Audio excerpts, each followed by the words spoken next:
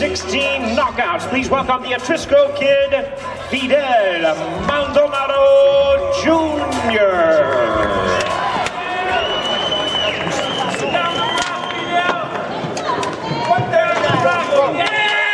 139 pounds for Fidel Maldonado Jr., 139. And now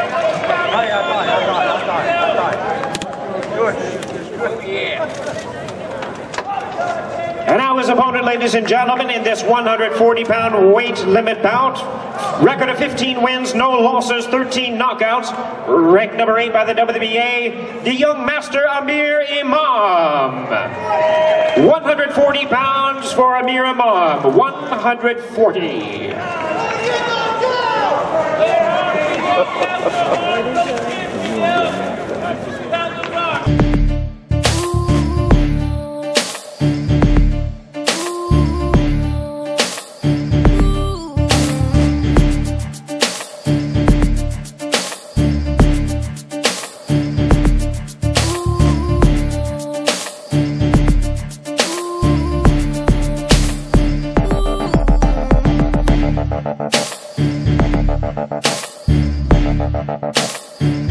Thank